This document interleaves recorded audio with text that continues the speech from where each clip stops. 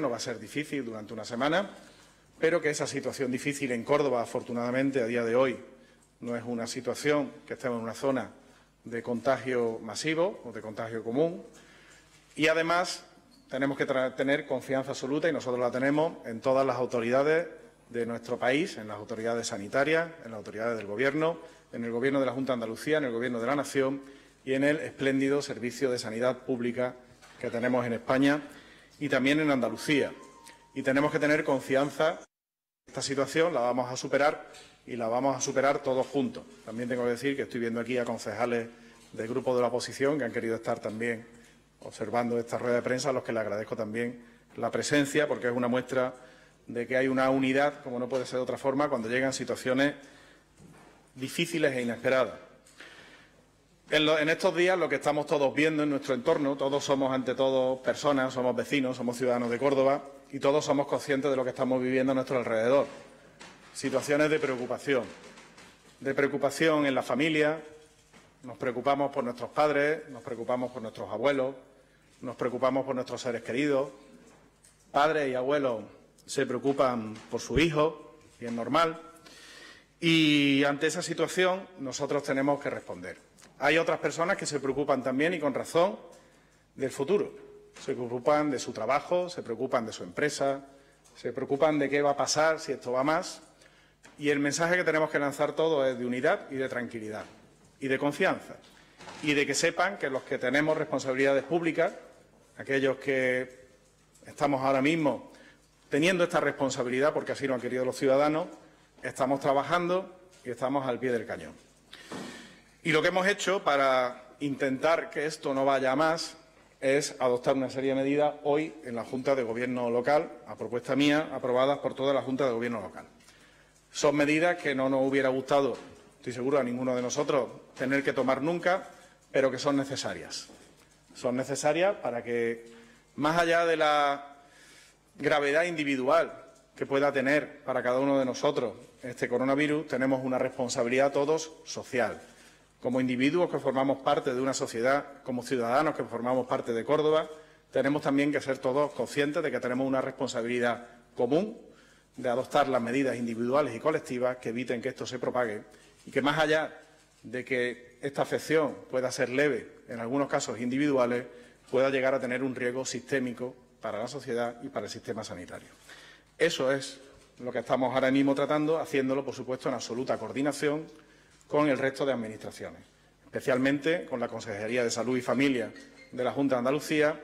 también a través de la Federación Andaluza de Municipios y Provincias y, por supuesto, con el Gobierno de la Nación. Yo voy a detallarle, también para conocimiento público, les pido que hagan también ustedes una labor en el día de hoy a los medios de comunicación también de responsabilidad para trasladar a todos los ciudadanos las medidas que se adoptan, que lo haremos, por supuesto, llegar a través de todos los cauces de comunicación de los que también dispone el Ayuntamiento. Hay tres apartados de medidas que hemos adaptado desde el día de hoy hasta el 31 de marzo. Uno primero es una adopción de medidas de emergencia en relación con establecimientos municipales y con actividades generales dirigidas a la ciudadanía, que, como digo, tendrán vigencia hasta el 31 de marzo, sin perjuicio de su posterior ampliación en virtud de las circunstancias. Por un lado, hemos aprobado el cierre de los centros de participación activa de mayores de titularidad municipal y actividades municipales de ocio, culturales y deportivas destinadas a mayores. Se cierra también temporalmente todos los espacios escénicos del Instituto Municipal de Artes Escénicas, Gran Teatro, Teatro Góngora y Teatro de la Serquía. Procedemos también a la suspensión de eventos o actividades que supongan una concurrencia masiva y que requieran de autorización de ocupación de la vía pública por parte de la delegación municipal correspondiente. Se suspende la realización de actividades públicas no ordinarias en instalaciones y dependencias municipales, especialmente Casa de la Juventud, Casa de la Igualdad, Escuela de Participación Ciudadana, Centro de Educación Vial y Centro Cívico, que como consecuencia de esta medida cerrarán a partir de las 15 horas, estarán abiertos por la mañana para la actividad administrativa y cerrarán por la tarde, que es cuando se producían las actividades no ordinarias, e implica también el cierre de los centros complementarios de los centros cívicos que se dedicaban únicamente a este tipo de actividades. Se implantarán, se van a implantar medidas especiales de limpieza e higiene en los autobuses de la empresa municipal Aucorsa. Hemos tomado conocimiento de los acuerdos que ustedes ya saben porque se han hecho públicos, por el que se suspenden también todos los eventos a celebrar en el término municipal de Córdoba, en los que se prevea una alta concentración de eventos deportivos, una alta concentración de personas o desplazamiento de aficionados o deportistas para asistir al evento deportivo, así como la suspensión de todos los encuentros de los Juegos Deportivos Municipales del Instituto de Deportes de Córdoba en todas las modalidades. Se va a limitar la concurrencia de público en la celebración de las bodas civiles en el Salón de los Mosaicos del Alcázar de los Reyes Cristianos, donde se limitará el aforo de invitados a 50 personas, y en, el salón, en este salón de pleno del Ayuntamiento, donde se limitará el aforo a 30 personas. Se van a establecer medidas de control de acceso para evitar aglomeraciones en las visitas al Parque Zoológico Municipal, así como los espacios cerrados de titularidad municipal, como los museos y los espacios cerrados del Alcázar de los Reyes Cristianos. Serán medidas para evitar que se aglomeren muchas personas en esa visita. Un segundo apartado, adoptamos medidas de emergencia para el adecuado funcionamiento de los servicios telemáticos y la continuidad en el funcionamiento de los servicios de atención a la ciudadanía y la celebración también, por tanto, y por dicha razón, de contratos de emergencia al amparo del artículo 120 de la Ley 9-2017 de contratos del sector público, que irán tanto con cargo al presupuesto municipal ordinario de cada delegación como al fondo de contingencia de medio millón de euros que tiene el ayuntamiento precisamente para este tipo de situaciones. Lo que buscamos es facilitar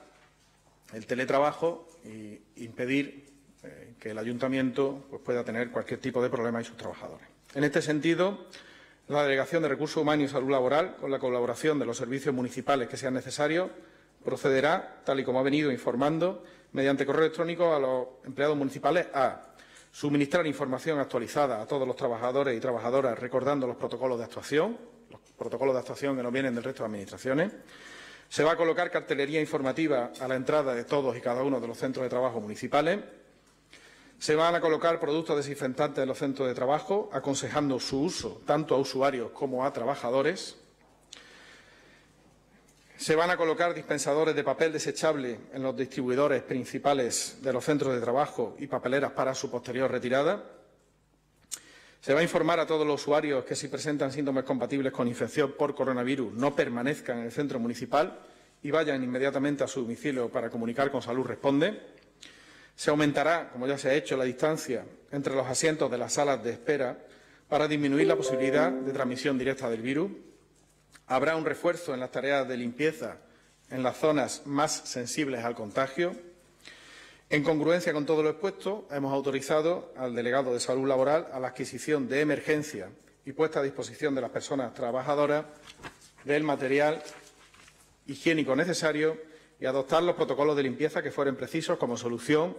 hidroalcohólica, dispensadores de pared, pañuelos desechables y cualquier otro producto que se recomiende desde la unidad de salud laboral. En cuanto a las pruebas selectivas, como también saben, el órgano convocante de cada proceso selectivo en curso deberá posponer por el tiempo imprescindible la celebración de pruebas selectivas de concurrencia masiva, garantizándose en todo caso la continuidad de los procesos. En este sentido, se toma conocimiento, se ha tomado conocimiento del decreto 1595 12 de marzo, porque se dispone de desplazamiento hasta que las circunstancias lo permitan de la convocatoria para la realización de la primera prueba de la fase de oposición del procedimiento selectivo de plazas de policía local. Se esperaba una concurrencia de 2.000 personas, dejando sin efecto la convocatoria prevista para el próximo sábado, día 21 de marzo, en el campo universitario de Rabanales. Se dispone asimismo el aplazamiento, hasta que las circunstancias los permitan, de la convocatoria para la realización del último ejercicio de la fase de oposición del procedimiento efectivo de las plazas de bomberos conductor, que ayer no se había anunciado, pero no ha quedado más remedio que también aplazarla, dejando sin efecto la convocatoria prevista para el próximo viernes, día 13 de marzo, en el campus de Rabanales. Igualmente, no se va a proceder a fijar fecha para la realización de las pruebas respecto a las plazas convocadas por la empresa municipal Sadeco. Y en los restantes procesos selectivos, si se decide celebrar las pruebas, que son procesos selectivos menos concurridos, se deberá garantizar que la ocupación de los lugares habilitados para las pruebas permita entre los participantes en el proceso selectivo la distancia recomendada por las autoridades sanitarias. En cuanto a cursos y actividades formativas, el Departamento de Selección y Formación de la Delegación de Recursos Humanos y Salud Laboral propondrá, salvo causa justificada, los cursos y actividades formativas de carácter salvo causa justificada, los cursos y actividades formativas de carácter presencial, valorándose la utilización de medios telemáticos como alternativa cuando ello resulte posible. Esto implica también que no se saldrá fuera del ayuntamiento a recibir cursos de formación en otras ciudades o en otras instituciones o administraciones. En atención al público, en los servicios de atención al público se va a priorizar la atención telefónica y telemática, evitando la presencial. Y así, a los efectos de lo previsto en el artículo 120 de la Ley de Contratos del Sector Público, se autoriza a la Coordinación General de Transformación Digital a la contratación de emergencia de un servicio de atención telefónica y usuario, CAU, que responda en un primer nivel de atención a las preguntas más frecuentes de los ciudadanos, que pueda atender además solicitudes básicas y que posibilite en un segundo nivel de atención el acceso por este canal telefónico de la ciudadanía a los servicios de atención ciudadana y de gestión tributaria, para las cuestiones de mayor nivel de complejidad, con un adecuado sistema de gestión y balanceo de llamadas. Se dispone también de forma inmediata de un subdominio dentro del dominio principal del punto de acceso electrónico general de nuestra Administración electrónica, de nuestra página web, en el que se ubicarán guías, tutoriales, relaciones de preguntas frecuentes y chats que permitan la adecuada localización de la información más demandada en los servicios de atención ciudadana, que deberá ser usable y accesible para todos los colectivos de usuarios, es decir, que pueda usarse también por personas que tengan algún tipo de discapacidad. Asimismo, se realizará una campaña de información a la ciudadanía sobre la puesta en marcha de esta nueva vía de atención telemática y por ello se autoriza al Coordinador General de Transformación Digital a la celebración de emergencia de cuantos contratos sean necesarios para la puesta en marcha del citado portal con los contenidos descritos. Se hemos autorizado también, igualmente, a la Coordinación General de Transformación Digital a la negociación y puesta en marcha y funcionamiento de los acuerdos que fueran necesarios con otras administraciones públicas para la reutilización de sistemas y aplicaciones desarrollados por sus servicios que hayan sido objeto de contratación y de cuyos derechos de propiedad intelectual sean titulares, incluida la modalidad de plataforma pública de servicios electrónicos. ¿Para qué? Con el objeto de disponer de una sede electrónica, registro telemático y un sistema de tramitación que permita la presentación de escritos por los ciudadanos, digitalizar los documentos y su remisión a las distintas unidades administrativas, así como emitir documentación administrativa en soporte electrónico a los diferentes empleados públicos, pudiendo acordar la repercusión de costes que fueran necesarias, así como la adopción de contratos de emergencia para garantizar el adecuado funcionamiento de tales plataformas y servicios. Es decir, autorizamos para poder facilitar el teletrabajo y, sobre todo, al ciudadano que pueda eh, dirigirse al ayuntamiento mediante administración electrónica a contratar todo lo que sea necesario y a conveniar con otras administraciones. Hemos aprobado la preparación de un entorno de trabajo telemático que permita a los empleados públicos municipales de aquellos servicios eminentemente burocráticos el trabajo fuera de las sedes municipales en caso de ser necesario.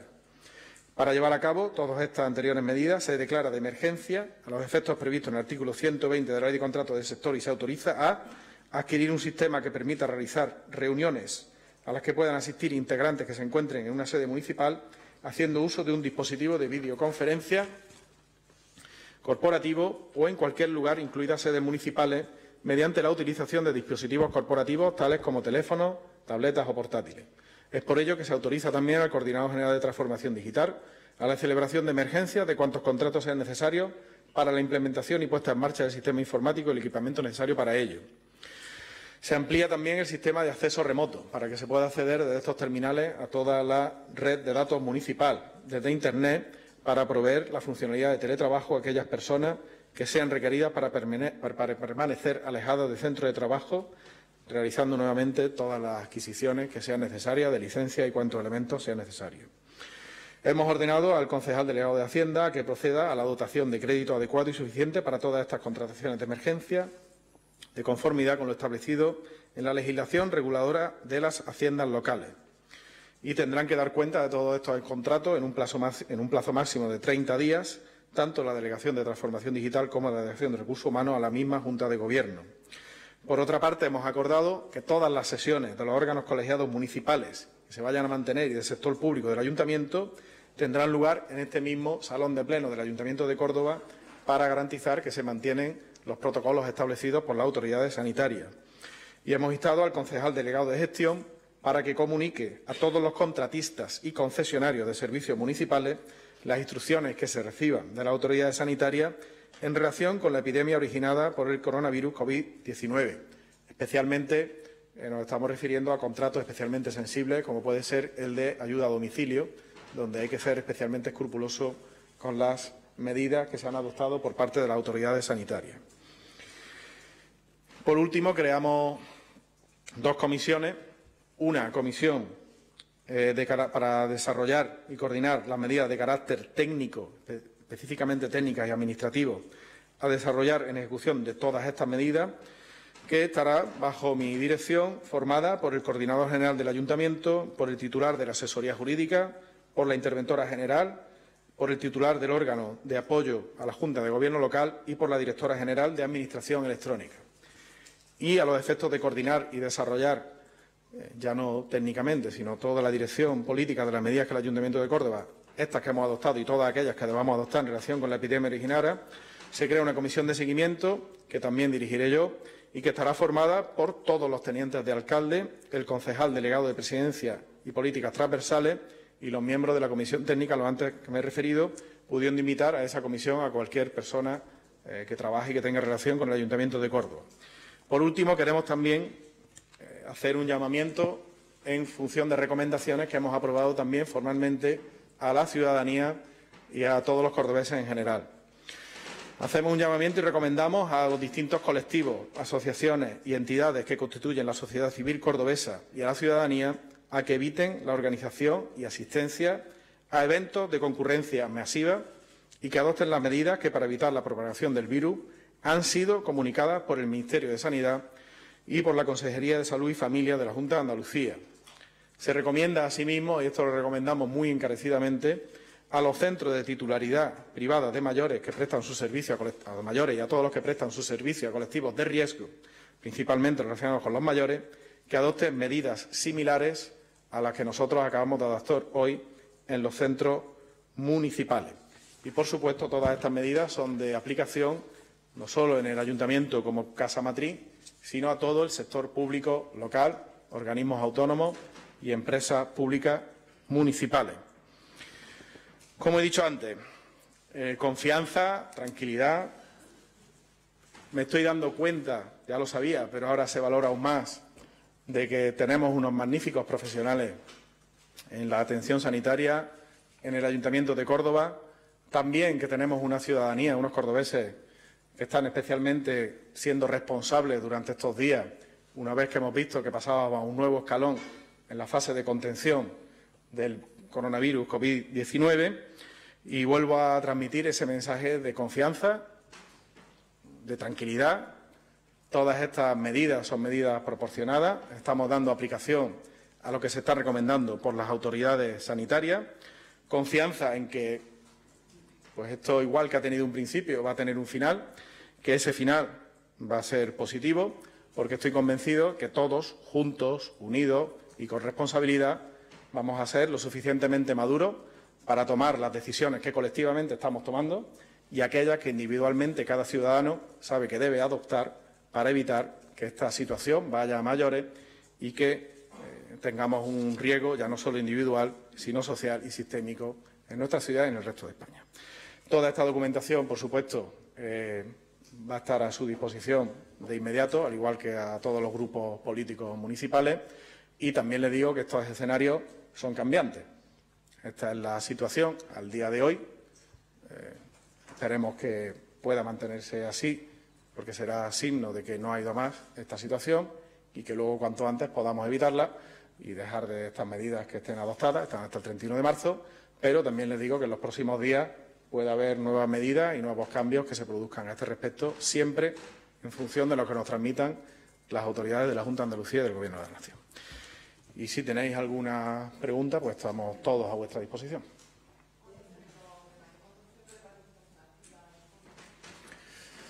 ¿Está aquí, por aquí, la concejal? 14, concreto. 14 Aunque entiendo que no dependerá directamente de la esa recomendación que hace genérica a evitar organización, la organización y asistencia de eventos masivos, ¿está siendo una referencia explícita a la Semana Santa? No. Ahora mismo esto hasta, hasta el 31 de marzo. Esperemos que efectivamente solo sea hasta el 31 de marzo. Por eso están adoptando todos los gobiernos las medidas con ese calendario. Lo que sí algún llamamiento, mira, nosotros hemos, hablando en plata, más allá de la lectura que creo que correspondía hacer de las medidas concretas, eh, nosotros hemos acabado con toda la actividad extraordinaria y lo que no sea imprescindible en estos días. Sí, nosotros mantenemos el funcionamiento de la ciudad, se mantienen todos los servicios públicos, todos los servicios básicos, se cierran los centros donde hay una población con una especial eh, problemática si se llegara a contagiar por pura responsabilidad, siguiendo los consejos de la autoridad sanitaria, pero todo lo demás, todo lo que no nos gusta que haya que dejar de hacer, pero aunque lo lamentemos, eh, no pone en riesgo ni la economía de la ciudad ni ningún otro aspecto de la vida ciudadana, hemos dejado de hacerlo. Se cierran los teatros, no van a estar a disposición los espacios públicos ni para actos nuestros ni para actos de terceros, las actividades de los centros cívicos, de la Casa de la Juventud, de la Casa de la Igualdad, eh, se suspenden más allá de las ordinarias, los museos municipales, los centros públicos de asistencia se va a controlar la asistencia. Y lo que hago un llamamiento es a que el resto de la sociedad pues tome este, esta misma decisión, que lo que en estos días, hasta el 31 de marzo, pues pueda ser homologable a lo que se está haciendo desde las administraciones públicas en esto no vamos solos, todos los ayuntamientos y todas las administraciones vamos en el mismo camino,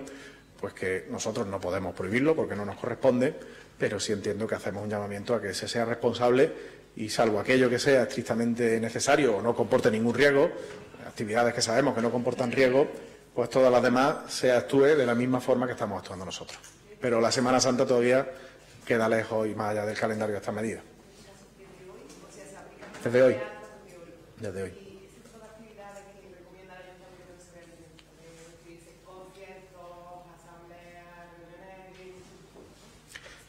De todo tipo. de todas maneras, tengo que decir que más allá, nosotros hacemos estas recomendaciones porque entendemos que lo responsable y el llamamiento que tenemos que hacer,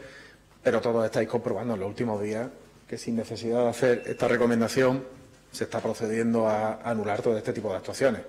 Mm, la agenda que todos y cada uno de nosotros manejábamos para estos días ha cambiado rotundamente y ha cambiado porque sin que nadie se lo diga,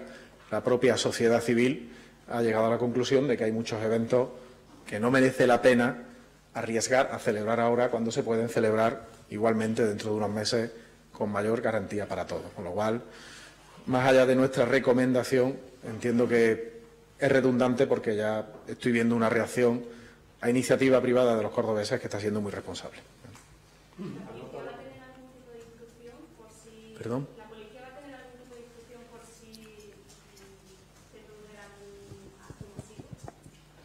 Bueno, nosotros eh, son dos cuestiones. Como has visto en las medidas, en primer lugar, eh, desde la Delegación de Seguridad y Presidencia, que afortunadamente está eh, dirigida por las mismas personas, en estos casos eso ayuda, y es la misma que lleva la autorización en vía pública, nosotros hemos lanzado una recomendación de que no se haga. Por otra parte, ya decimos que todas las que necesiten de autorización municipal no se va a conceder o si está concedida se va a revocar. Eh, y por otra parte, la policía, que es un colectivo especialmente sensible, porque evidente que tiene un contacto directo con el ciudadano, eh, va a tener las mismas medidas que el resto de la plantilla en cuanto a los protocolos que nos recomiendan desde Sanidad, pero eh, algo más reforzada con materiales específicos que son los que necesitan la policía. Instrucciones ahora mismo, vamos, yo no me planteo ningún caso, ningún supuesto que tengamos que intervenir, por lo que entiendo en tu pregunta, una intervención ya de orden público y ahora mismo no estamos barajando, no están sobre la mesa y no creo que llegue a tener que producirse. Todavía no. Lo que sí te digo, eh, bueno, en algunos casos son contrataciones eh, de un coste irrisorio. Eh, por, poner un ejemplo, y lo digo a modo de ejemplo para que entendáis que estamos viendo de lo más grande a lo más pequeño, pues para el gel que hay que poner en todos los centros municipales, pues llevamos toda la mañana para comprar los botes del gel. Entonces, pues los botes van a costar 30 euros, o, sea, 300 euros, perdón, ¿no? van a costar 300 euros. Hay programas informáticos que tenemos que adquirir, eh, pues que van a ser bastante más caros. Estamos adquiriendo material sanitario que hay que comprar en grandes cantidades, que estamos hablando de 30.000 euros. Es decir, hay, hay una cuantía variable de cada uno de estos contratos. Si te digo que disponemos, insisto, de un fondo de contingencia que solo del ayuntamiento es de medio millón de euros y que si sumamos ese fondo de contingencia en todo el perímetro eh, del ayuntamiento, incluida la empresa y el organismo autónomo, supera los 600.000 euros. Por lo pronto, por ahí empezaremos el gasto y esperemos que no tenga que ser más. ¿Han notado un descenso de asistencia a instalaciones municipales ya? Pues mira, si te digo la verdad, Rafa, eh, yo es que llevo aquí encerrado dos días con esto, entonces ni lo he notado ni lo he dejado de notar porque no me he movido prácticamente del despacho eh, preparando bueno, el despacho de la sala de comisiones, de esta salón de pleno, preparando toda esta actividad, con lo cual no lo sé. Creo que aquí hay compañeros que a lo mejor sí te pueden eh, dar esa información ahora. ¿vale? ¿Se han dispuesto las eh, comprado? Sí, en el Instituto Municipal de Artes Escénicas, Gran Teatro, que además esta noche había ya un primer, eh, una primera actuación que se ha visto afectada, ya desde ayer que estábamos preparando, ya se iban adoptando las medidas necesarias para poder llevarlo a cabo y Blanca Torren y todo su equipo están ya dispuestos para proceder a la devolución de las entradas que hagan falta. No, va a haber ningún problema en ese aspecto. Sí. Bueno, por lo pronto se va a aplazar, pero supongo que quien quiera podrá pedir su devolución. Por lo pronto se van a aplazar. Si alguien quiere la entrada, evidentemente, pues se le devolverá el dinero. ¿Vale? Bueno, pues muchas gracias y de verdad, por favor, transmitirlo. eh, pido que lo transmitáis a toda la sociedad.